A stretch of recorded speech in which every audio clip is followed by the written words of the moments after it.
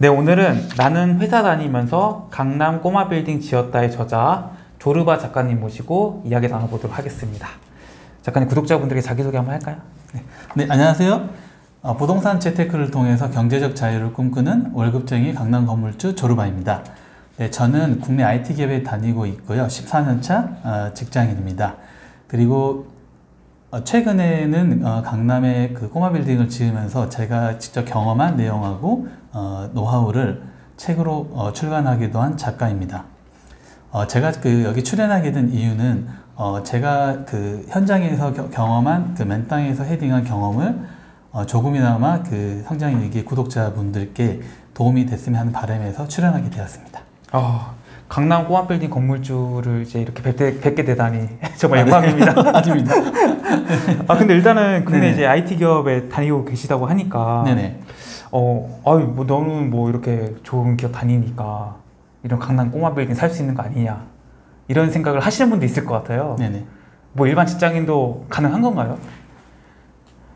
어, 네, 가능합니다. 왜냐하면 음. 그 기본적으로 그 꼬마 빌딩이라고 하는 거는 전체적으로 자기 돈 비율이 어느 정도 필요하고 음. 그리고 이제 대부분 그 어, 꼬마 빌딩의 그 가치를 기반으로 한 어, 레버리지를 어, 레버리지를 통해서 이제 건물을 살 수가 있습니다. 그렇기 때문에 네.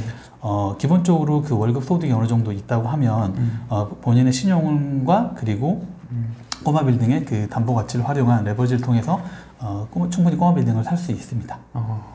아, 그, 근데 이제 뭐 제가 생각하기에 제, 뭐 제 상상입니다만 네네. 이제 뭐 급여도 적지 않을 것 같고 뭐 복지나 이런 거 좋을 것 같은데 어떻게 이런 뭐 강남 꼬마 빌딩 쪽으로 관심을 돌리게 된 거예요? 아, 제가 그 부동산 투자를 하게 된 좀 결정적인 계기가 좀 있었어요. 음. 그러니까 저도 원래는 꿈은 회사에서 어, 별을 달고 네. 임원이 돼서 네. 어, 되는 꿈이 있었는데요. 음. 이제 그게 이제 갑- 그거에서 어, 이제 겨- 그 부동산 재테크나 이런 재테크를 통해서 이제 돈을 버는 거를 그 목표로 하는 그 turning point가 있었는데 음. 첫 번째 계기는 제가 모셨던 상무님이 네. 그 단 한 시간 만에 이제 그 퇴직 통보를 받는 모습을 보면서 네.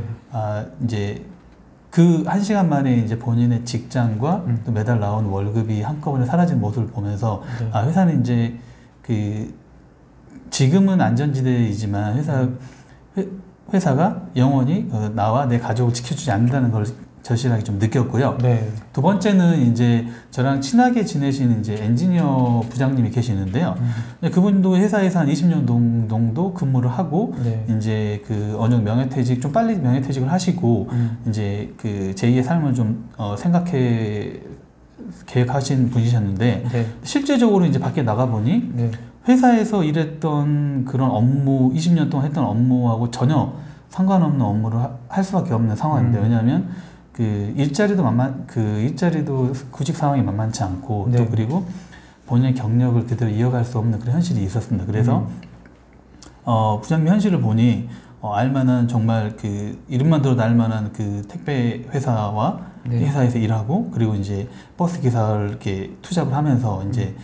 월화수목 거의 금금금 이렇게 일을 하면서 하신 모습을 보면서 음. 어, 부동산 투자와 또 그리고 재테크를 통해서 음.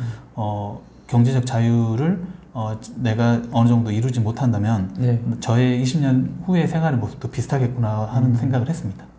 그럼 이제 어 아니 뭐 근데 이게 뭐 상무님이야 뭐 어차피 임원이라는 게 뭐 임시 직원의 약자이기도 하고 하니까 그리고 네네. 이제 뭐 사실은 뭐 임원까지 할 수는 사실 회사 생활 성공한 거잖아요. 네네. 근데 이제 K 부장님 같은 사례 같은 경우에는 네네. 뭐 이게 뭐 일반적인가요? 어떤가요? 뭐 주변에 뭐 그 제가 요즘에 그 저희 부장님들을 보면 음. 그 회사에서 일하는 물론 이제 그 업무에 따라 다르겠지만 네. 그50% 이상은 본인이 했던 업무를 업무의 연장선으로 음. 그 직업을 구하는 게 쉽지 않은 상황입니다. 왜냐하면 그 뭐 아시다시피 거의 한 40대 후반, 50대 초반에서 그 구직자를 구하는 그 환경도 많이 없을 뿐더러 음. 그리고 이제 워낙 그 경쟁이 치열한 상황입니다. 그렇기 때문에 네. 제2의 이제 그 인생 이모작이라는 부분들을 항상 좀 심각하게 고민할 되는 상황이라고 생각합니다. 음. 아 그러면 이제 이렇게 이제 어떻게 보면 회사 선배들의 사례를 보면서 야, 내가 이렇게 회사만 믿고 있으면 안 되겠다라는. 위기감이 드셔서 맞습니다. 부동산 투자 하신 거잖아요. 네네. 아, 그럼 이제 보통은 이제 뭐 강남 아파트 뭐 이런 쪽으로 이제 투자를 하게 될 텐데 네네. 어떻게 이 꼬마 빌딩 쪽으로 가신 거예요? 아, 처음부터 꼬마 빌딩을 꼬마 빌딩 건물주가 되겠다는 생각은 하지 않았고요. 음. 어, 제가 이제 그 두 가지 충격에 의해서 이제 부동산 재테크를 네. 어, 소액 으로 투자할 수 있는 부동산 재테크 아파트 투자부터 이렇게 시작을 했고요. 음. 그게 이제 2013, 4, 5년 그 정도부터 이제 그 시작을 해왔습니다. 그래서 이제 어, 강남으로 이제 꼬마 빌딩으로 가게 된 결정적인 계기는 제가 이제 부동산 투자를 하면서 어, 경제적 자유를 얻을 수 있는 방법이 음. 전두 가지라고 생각했어요. 첫 번째는 네. 이제 월세를 조금 조금씩 따박따박 하나씩 만들어가는 음. 방법. 그리고는 두 번째로는 그 어, 어떤 투자를 통해서 시대 차익을 통해서 어, 만약에 제가 그 40대 중반, 50대 초반에 그, 은- 그 은퇴를 한다고 했을 때 음. 그 50년, 그 50세 이후에 2, 30년 정도의 그 연봉이 음. 만약에 마련된다고 하면 시대 차익을 마련된다고 하면 저는 그거 그 돈으로 저에게 그 회사가 아닌 제가 저에게 주는 월급으로 그 경제적 자유를 이룰 수 있다고 생각했거든요. 음. 그래서 이제 그런 관점에서 봤을 때 네. 그두 번째 방법으로 저 선- 저는 이제 결정을 했고 음. 그리고 이제 꼬마 빌딩을 공부하기 시작했습니다. 어, 그럼 그 과정에서의 그 아내와의 소통 또 아내분은 생각이 다를 수 있잖아요. 네. 네네. 이런 건 없었나요? 어 있었습니다. 네. 그저 와이 저의 와이프의 경우는 이제 좀더 어, 보수적인 음. 입장이고 네. 저는 상당히 공격적인 입장이고요. 어, 그래서 처음에는 이제 그 투자에 대한 거에 대해서 이제 이야기하면서 많이 좀 티격태격한 부분도 있고 음. 그렇지만 이제 어 저의 저랑 좀 그 계속 이제 이야기를 해 나가면서 조금 어느 정도 그 제가 그 처음부터 이제 큰 투자를 하지 않았, 않았 고 네. 조그마한 투자부터 이제 해왔던 결과물들이나 이런 부분에 대해서 음. 노력과 또 결과물들을 이제 보여주면서 같이 이야기하면서 네. 어느 정도 이제 그 같이 이제 가- 방향을 같은 방향으로 좀 설정할 수 있게 되었습니다. 아, 그럼 이제 그 꼬마 빌딩을 이제 투자해야겠다. 그 당시에 뭐 실제 뭐 현금이라고 할까요? 네. 그 투자 자본이 얼마가 있으셨던 거예요? 음, 제가 이제 2018년, 2017년 말 18년 초에 이제 꼬마 빌딩 투자를 했는데요. 네. 그때 이제 그 당시에 그, 어, 기본 그 제가 가지고 있는 종잣돈, 네. 그러니까 종잣돈이라고 하면 꼬마 빌딩을 살 수 있는 최소의 자기 자본이라고 저는 정의를 하고 있는데요. 네, 네. 그 이제 레버지를 뺀 자기 자본인데 네. 한 어, 10억에서 15억 정도 사이는 가지고 있었습니다. 와, 어, 그럼 그래도 꽤 네네네. 큰 돈이 있으셨네요. 네. 그럼 이 10억에서 15억 정도 있으면 제 생각에는 진짜 투자의 옵션이 너무 많아가지고 네네. 정말 고민이 많이 되셨을 것 같은데 네네. 맞습니다. 이게 모든 걸 따져봤을 때 아, 강남 꼬마 빌딩이 최고였다 이거였나요? 어, 꼭 그렇지는 않았고요. 네. 그러니까 원래 처음에는 이제 강남 아파트를 살려고 음. 그 투자를 하려고 이제 좀 돌아다녔는데, 네. 근데 이제 아시다시피 2017년 중후반 네. 그때는 이제 이미 강남 아파트 전체적으로 서울 아파트 가격이 올라 있는 상태였기 때문에 네. 어 지금은 조금 물론 이제 그 지- 현재 시점에 봤을 때는 그 당시에 싼, 싼 가격 싼 가격이지만 음. 그 당시에는 이제 좀 비쌌다는 생각을 좀 해고 하고 조금 어느 정도 그 강남 아파트를 포기한 상태였습니다. 그래서 어 이제 그 포기하고 이제 그 강남 아파트를 임장하면서 네. 이제 근처에 이제 먹자골목 쪽으로 이제 밥을 먹으면서 이제 어 정말 우연찮게 이 현재 그 식당이 1층에 식당이 있는 꼬마 빌딩은 얼마일까라고 네. 생각을 했을 때 네.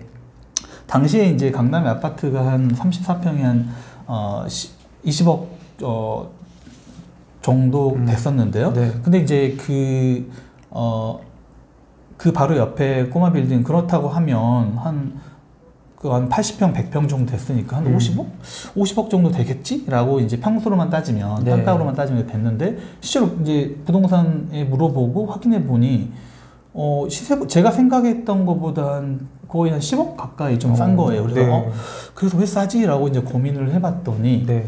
어 이제 그 근처 뭐 나중에 말씀드리겠지만 그 강남구 개포동이란 그 동네 자체가 음. 그 아파트 재건축 아파트들이 신축되기 직전이었어요. 네. 이제 신축되고 있는 아파트도 있었고 음. 그렇기 때문에 어, 저평가된 그런 상황이었던 것 음. 같아요. 그래서 음.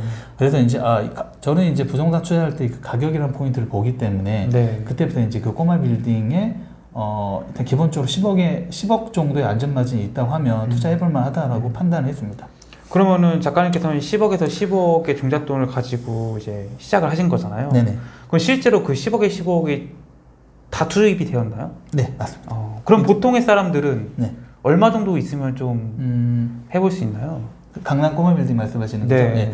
근데 강남 꼬마 빌 지금 현재 어, 상황은 조금 달라졌어요. 음. 그러니까 당시에는 음. 어, 금리가 어, 그 2% 중반에 3% 초반이었고 네. 그리고 이제 부동산 임대차 시장도 지금보다 훨씬 탄탄한 그런 환경, 좋은 환경이었습니다. 그런데 네. 이제 그런 걸 감안했을 때 음. 어, 현재 기준으로 좀 말씀드리면 음. 지금은 강남의 어, 그 개포동이나 일원동 조금 끝자락이라고 하, 더라도 네. 어, 최소한 20억에서 25억 사이는 좀 있어야 됩니다. 어. 어, 왜냐하면 이제 물론 이제 지가의 시대 상승도 있었고 네, 네. 또 금리가 고금리이기 때문에 네. 어, 레버리지에 통한 이자 비용이 어, 불과 3, 4년 만에 그 비교했을 때 음. 거의 한 두 배 정도 올라 두 배 정도 더 비용이 들어가기 때문에 네. 좀 안전적으로 봤을 때 20억, 25억 최소 25억 정도는 음. 가지고 있어야 투자 가능할 것으로 보입니다. 20억이 없으신 분들은 어 강남의 꼬마 빌딩은 좀 어렵다 싶으신 거잖아요. 네네. 그러면은 이제 20억 미만의 뭐 예를 들어서 한 10억 정도 내외를 갖고 계신 분들이 아, 나는 이걸로 아파트 투자할까? 아니면은 강남은 아니더라도 네네. 비강남권의 네네. 꼬마 빌딩 이런 걸 살까? 이런 고민을 하시는 분도 있을 것 같아요. 네네. 어떻게 생각하세요?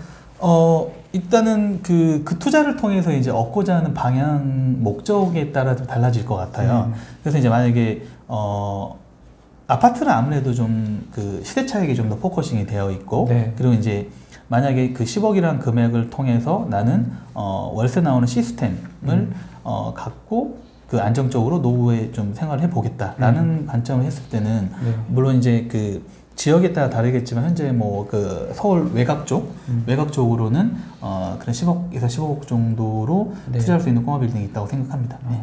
그럼 이제 꼬마 빌딩 투자가 낫다 이거예요? 강남권이 아니어도? 아그 개인적이 예그 개인적인 음. 그 목 그 투자 목적이 다 다르다고 아, 월세. 수입을 예, 예. 기대하면은 네네 강남 아파트나 뭐 이런 아파트 투자보다는 네네 비강남권의 꼬마 빌딩을 투자하는 것이 나을 수 네, 있다. 맞습니다. 네. 아, 그 이제 제가 깜짝 놀랐던 게 이제 작가님께서 이제 종잣돈을 15억 이렇게 큰 종잣돈을 가지신 분저 처음 이제 뵈가지고 어 그 종잣돈 어떻게 마련했을까도 사실 궁금하긴 해요. 네네. 아마 이거 이걸 아직 제가 물어보지 않았으니까 많은 분들은 아 부모님 잘 만나서 부모님이 물려줬나 보다 생각 같은데 실제로 어땠나요? 아 절대 아닙니다. 네. 그 제가 이제 부동산 투자를 시작한 거는 거의 10년이 좀 넘어가고 있는데요. 음. 2012년부터 시작했는데 네. 어 이제 아무래도 저는 이제 그 대기업에 다니고 있고 음. 그렇기 때문에 이제 기본적으로 이제 월급이 어느 정도 그 기반이 되고 있습니다. 그래서 네. 어 저는 부동산 그 저희 월급의 한 70% 정도는 네. 어, 부동산 투자하는데 이제 그 종잣돈으로 음. 어 거의 할당을 했고요. 그리고 이제 그 70% 할당된 그러니까 매달 그리고 매년 할당된 그 종잣돈으로 음. 부동산 소액 투자를 통해서 네. 자산을 키우 키웠습니다. 그래서 음. 그 자산 결국 이제 그 자산을 키워서 그 수익화를 어 수익화를 해서 이제 최종적으로 제가 어 이- 제가 저의 종잣돈과 음. 또 수익화된 그 자산의 그 자산의 가치가 올라가 수익화된 금액을 포함해서 한 10억에서 15억 사이가 되었습니다. 음. 그러니까 이제 단순히 월급을 저축해서 모은 게 아니고 이제 적극적인 투자를 하셨군요. 그러니까. 네네 맞습니다. 그 이제 책에서 이제 강남에서 내 명의로 된 대지 지분에 대한 의미를 써주셨더라고요. 네네네. 저 되게 참신하게 다가왔는데 네네. 어떤 의미인가요?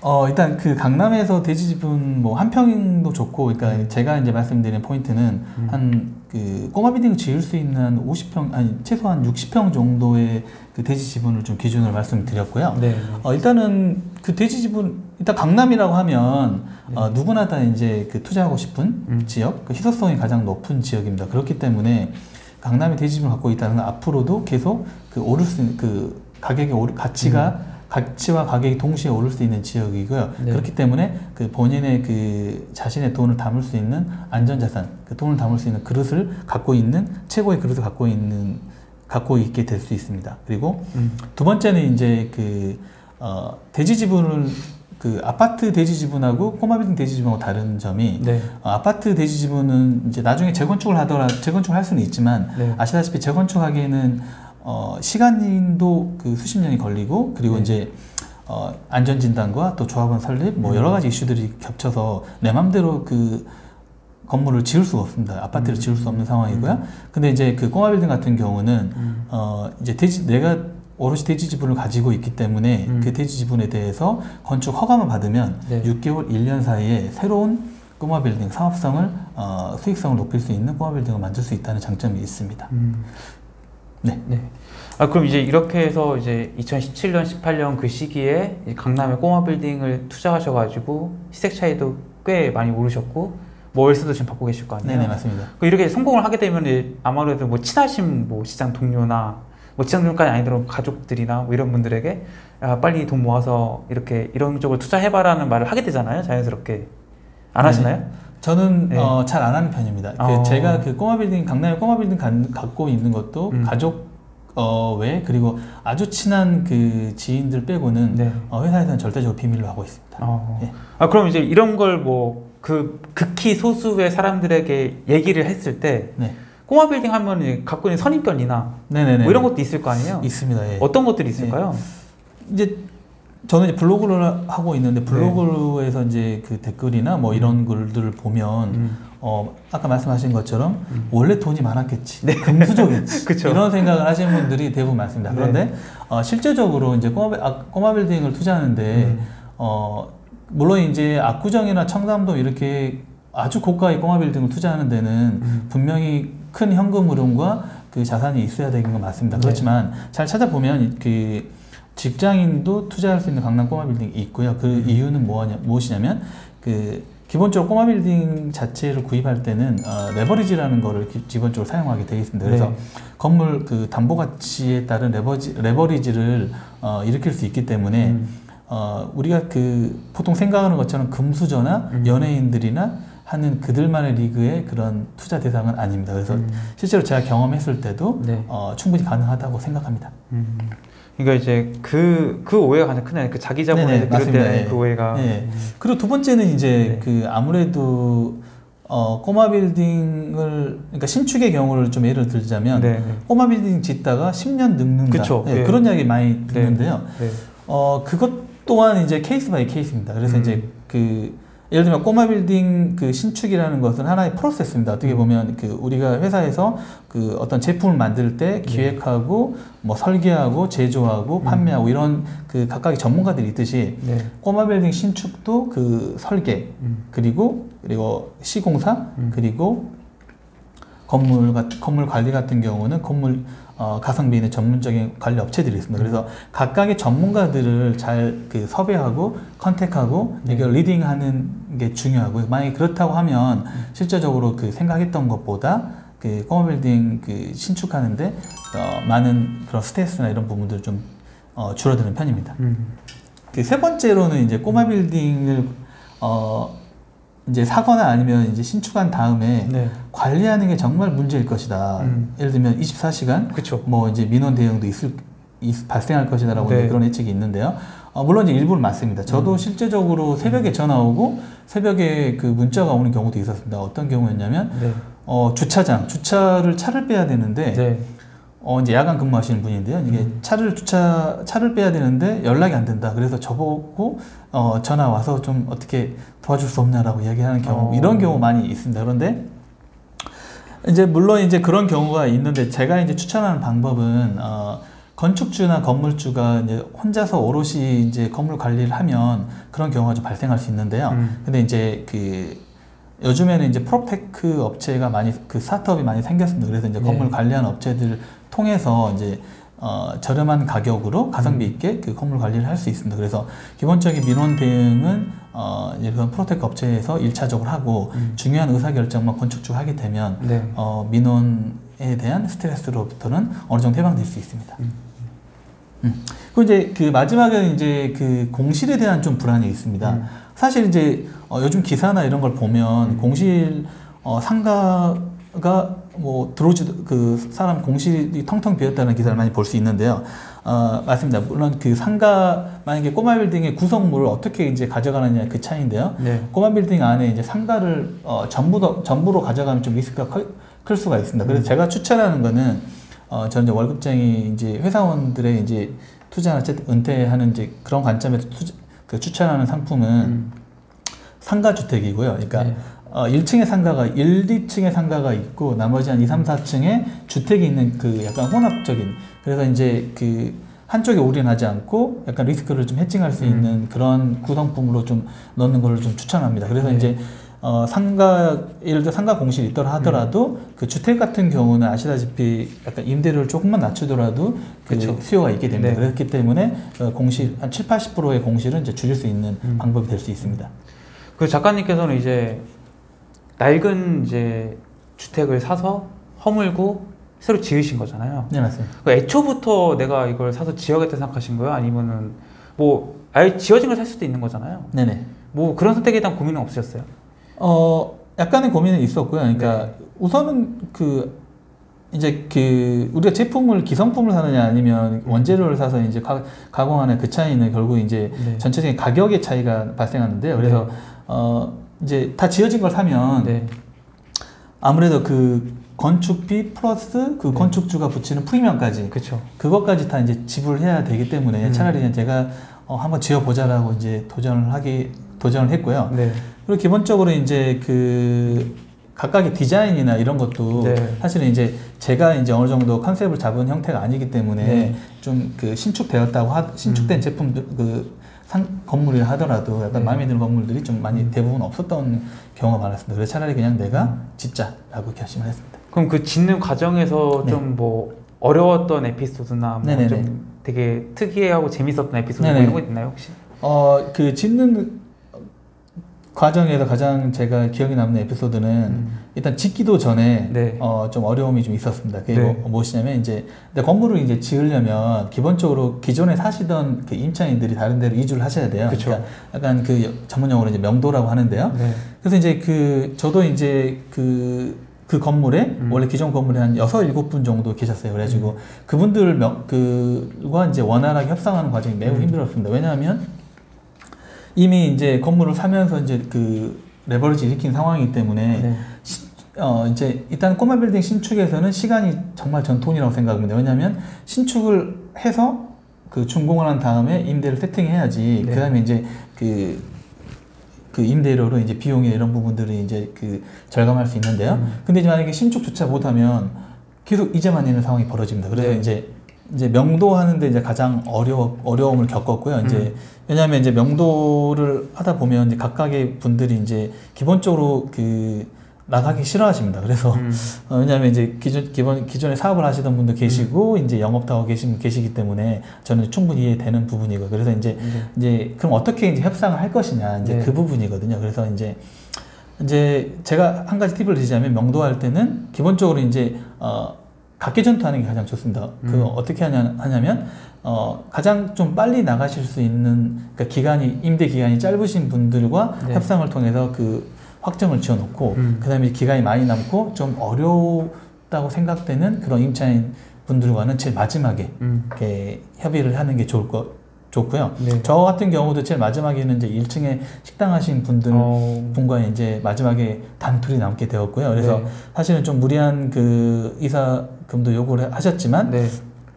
제가 그분께 말씀드렸던 포인트는 결국 이제 그 꼬마 빌딩을 이제 지을 때 이제 그 철거를 할 때는 그 건축허가 있- 있는 상태에 철거를 하는 경우에는 임대차 계약이 그 갱신이 안 됩니다. 그렇기 때문에 음. 소송으로 가더라도 어 이제 그 폐소할, 수, 폐소할 수밖에 없다는 부분들을 좀 어, 주지를 시켜드렸고 그리고 이제 네. 어 그냥 그냥 나가실 수는 없으니까 음. 밖에서 다른 사업을 하실 수 있도록 소정의 이사비를 어, 드리는 것으로 이제 제안을 드려서 네. 어, 다행히도 뭐 한 3개월 정도 만에 어, 어. 이렇게 명도를 마칠 수 있었습니다. 어. 그래서 어, 정말 그때가 가장 저는 음. 그 꼬마비디 신축하면서 아찔한 순간이었다고 생각합니다. 왜냐하면 어, 1, 2년 소송으로 가게 되면 정말 이제 그 이자 비용과 그쵸. 네, 예. 그런 것 때문에 이제 거의 어, 신축 사업이 망할 수도 있는 그런 상황이 될 음. 수도 있기 때문에 어, 그때가 가장 어려웠던 상황이었습니다. 어. 아 그럼 뭐 건축 과정에서의 뭐 어려움 없으셨나요? 건축 과정은 사실은 네. 크게 문제는 없었습니다. 왜냐하면 저 같은 경우는 이제 그 이제 그 건축하는 경우에 이제 어, 시공사 같은 경우 이제 종합 건설사 조금 네. 이제 실력이 있는 종합 어, 중 중견 기업인 종합 건설사 할 수도 있고 이제 그 근처에 이제 집 장사 하시는 분들이 음. 하실 수 있는데요. 네. 저는 그냥 비용이 조금 더 들어가더라도 음. 종합 건설사를 좀 선택했습니다. 왜냐하면 그 아무래도 경험이 많, 그, 근- 그 지역에 경험이 많고 그렇죠. 또 이런 자재나 이런 수급도 확실히 더 빠르기 때문에 음. 좀 돈을 더 드리고 음. 안정적으로 이제 제 건물을 만들어내는데 좀 집중을 했습니다. 그렇다 보니까 어 이제 짓는 데에는 별다른 큰 어, 이슈는 없었습니다. 견적을 여러 군데 받아보셨을 거 아니에요? 네네. 이 건축비의 차이는 뭐 컸나요? 건축비는 아무래도 음. 집장 어 집장사 하시는 분들 그러니까 아주 소규모로 이제 그 동네에서 이제 네. 집을 짓는 부신 그 분들인 경우가 가장 아무래도 싸고요. 네. 그리고 이제 그 종합건설사는 그보다 한 제 그러니까 2018년 기준 네. 당시로 한 1억 정도 차이 났던 것 같습니다. 총액이? 네, 총액. 어. 예, 그래서 한 그 건축비가 10억이라고 치면 네. 어, 종합건 그 어, 집장사분들은 뭐 9억까지도 말씀하셨고 네. 근데 이제 종합건설사 같은 경우는 한 11억 가까이 음. 좀 됐던 것 같습니다. 그래서 한 1억 정도 차이 났지만 결과적으로 봤을 때는 어, 안전하게 종합건설사를 선택하는 게좀 음. 잘했다고 생각합니다. 그럼 일- 일단은 그 처음에 그 낡은 주택을 샀을 때 이게 대출을 끼고 사신 거잖아요. 네 맞습니다. 그럼 이 상태에서 대출이 있는 상태에서 그 집을 허물고 또 건축비가 들어가게 되잖아요. 네네네. 이런 것들이 다 뭐 금융기관에 해결이 되는 건가요?